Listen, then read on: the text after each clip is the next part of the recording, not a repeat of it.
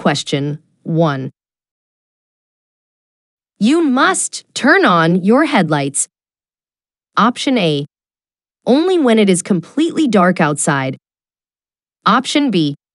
When it is too dark to see from 1,000 feet away. Option C. When it is too dark to see from 500 feet away. The correct answer is Option B. When it is too dark to see from 1,000 feet away. Using headlights when you cannot see 1,000 feet away can improve your visibility, alert other drivers of your presence, and ensure that you are in compliance with legal requirements. Always use headlights in low light conditions to ensure your safety and the safety of others on the road. Question 2. When can you drive using only parking lights? Option A 30 minutes after sunset or 30 minutes before sunrise. Option B on foggy days. Option C not under any circumstances. The correct answer is Option C not under any circumstances. Using parking lights instead of headlights can impair your visibility and make it difficult for other drivers to see your vehicle, increasing the risk of accidents. Question 3. You are driving at night on a dimly lit street and using high beams. You should dim your lights when you are within 500 feet of Option A. A vehicle approaching you from behind. Option B an oncoming vehicle. Option C, a sharp curve or hill. The correct answer is Option B, an oncoming vehicle. You should dim your high beam headlights to low beams when you are within 500 feet of an oncoming vehicle, because when driving in close proximity to other vehicles, high beam headlights can be blinding and cause a temporary loss of vision. Question 4. When you need to use your windshield wipers, due to fog, rain, or snow, you must Option A. Turn on your low beam headlights. Option B. Turn on your high beam headlights. Option C. Turn on your emergency flashers. The correct answer is Option A. Turn on your low beam headlights. Turning on your low beam headlights during adverse weather conditions can improve your visibility, help other drivers see you better, ensure that you are in compliance with legal requirements, and reduce the risk of accidents on the road. Question 5. What is the best advice for driving when heavy fog or dust occurs? Option A. Try not to drive until the conditions improve. Option B. Do not drive too slowly because other drivers may hit you. Option C. Alternate your low and high beams to improve your vision. The correct answer is Option A. Try not to drive until the conditions improve. If the conditions become too hazardous, consider pulling over to a safe location and waiting until the fog or dust clears before continuing your journey. Remember, your safety and the safety of others on the road is of utmost importance. Question 6. When should you turn on your headlights on mountain roads and tunnels? Option A. Only on cloudy days. Option B only at night. Option C. Always, regardless of weather conditions. The correct answer is Option C. Always, regardless of weather conditions. Tunnels are often poorly lit and can be dark, especially if there is no natural light source. Turning on your headlights can improve your visibility, making it easier to see other vehicles, pedestrians, or obstacles in your path.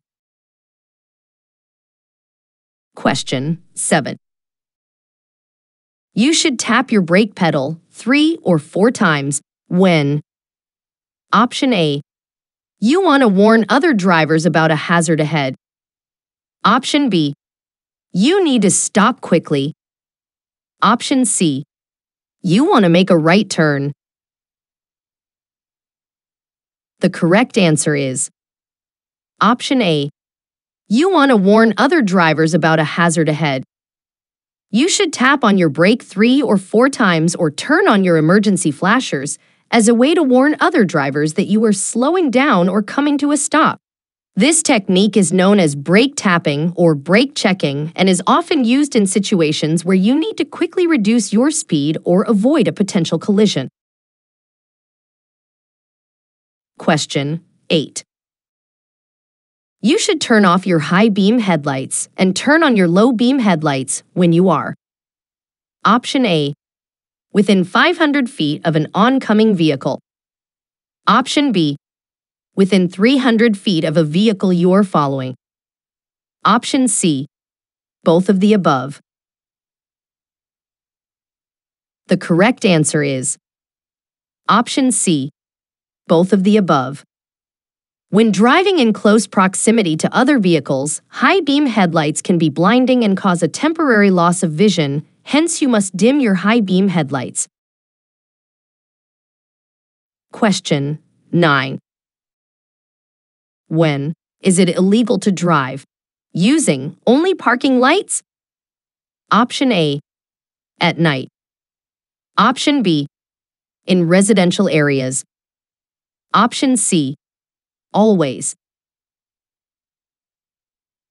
The correct answer is Option C. Always. Parking lights should only be used when parking a vehicle. Using parking lights instead of headlights can impair your visibility and make it difficult for other drivers to see your vehicle, increasing the risk of accidents.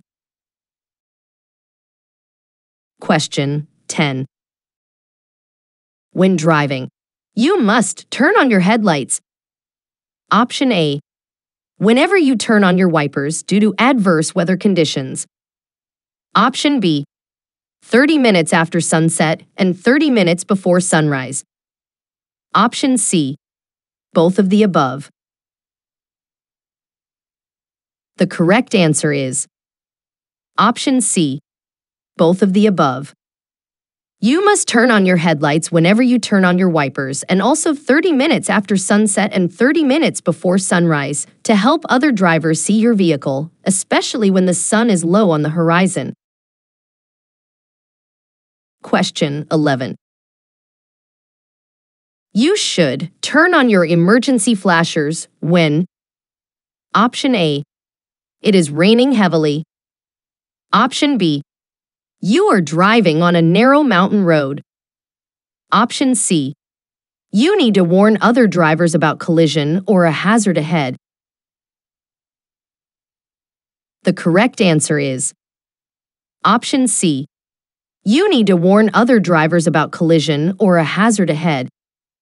You should turn on your emergency flashers or tap on your brake three or four times when you can see a collision or hazard ahead and want to warn the drivers behind you. Question 12. What should you do when you need to stop your vehicle because of vehicle trouble?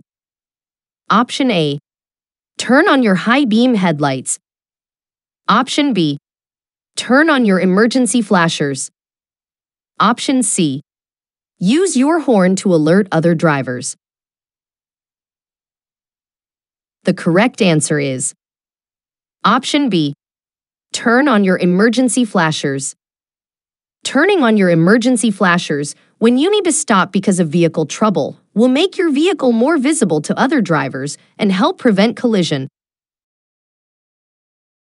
Question 13.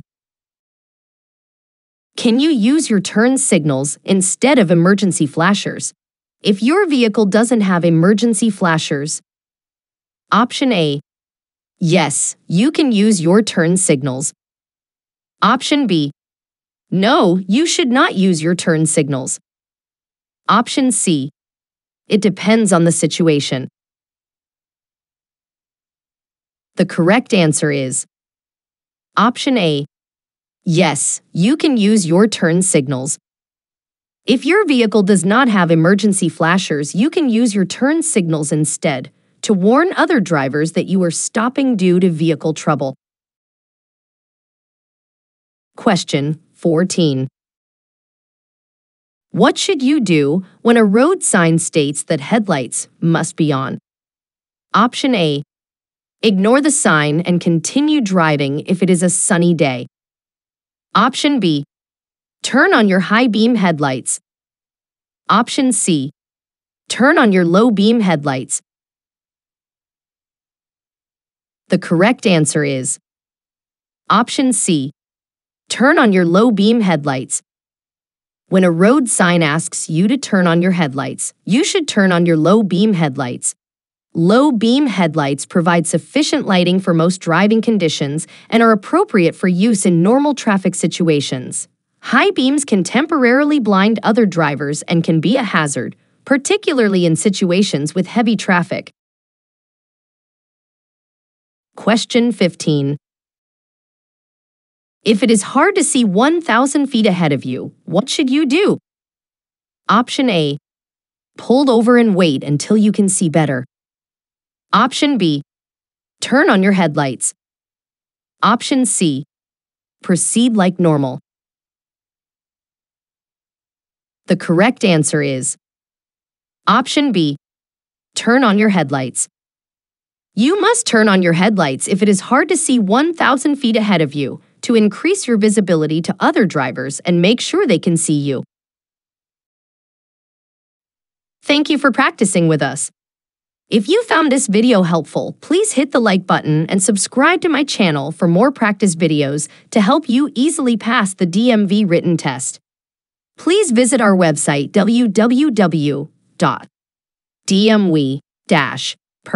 www.dmv-permit-practice-test.com for more resources to help you prepare for the test.